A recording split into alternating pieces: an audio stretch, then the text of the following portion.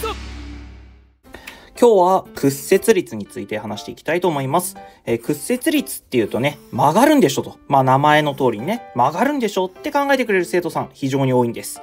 で、それはね、もちろんその通りなんですよ。ただ、それだけ知ってるだけじゃ足りないんですね。で、まず、屈折率 N っていうのは基本的に1よりもこれ、大きいんでしたっけ？ちっちゃいんでしたっけ？そう、これ、大きいんですよね。基本的にはまず1より大きい。で、光っていうのは屈折率 N のとこに入っちゃうと、ほにゃららがほにゃらら倍になっちゃう。これ覚えてますかね？まず1個目には、そう、これ波長が入ります。波長がこれ N 分の1倍になっちゃうんですね。よく N 倍って勘違いするから気をつけてください。で、なんだけれども屈折率 N のとこに入っても変わらないものあります。何が変わらなかったか覚えてますか？そう、これ振動数ですね。振動数は変わらないんです。波長は n 分の1倍になっちゃうけれども、振動数は変わらないんですね。で、波の公式、v イコール f ラムダっていうので考えてあげると、波長の部分が n 分の1倍になって、振動数の部分が変わらないってなってるから、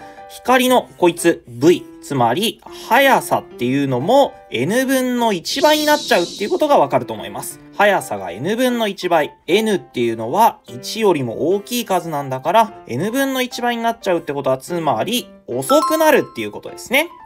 なんだけれども、光っていうのは鈍感。なので、自分の足の速さが遅くなったことには気づかないんですよ。で、進まなきゃいけない距離が、これ、n 倍に伸びちゃったように感じちゃうんですね。このことを光学的距離なんていう風に言います。波の問題で2つの光の距離の差を考える際、屈折率 n が出てくる問題では、実際の距離、経路差なんて言われるやつと n、屈折率 n を使って、経路差かける n、これを高路差って言うんだけれども、このように考えてあげる必要があります。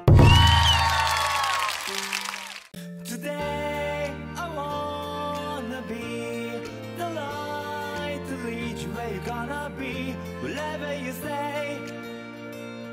You may feel like being alone, but I can be the one you lean on now. The world is yours.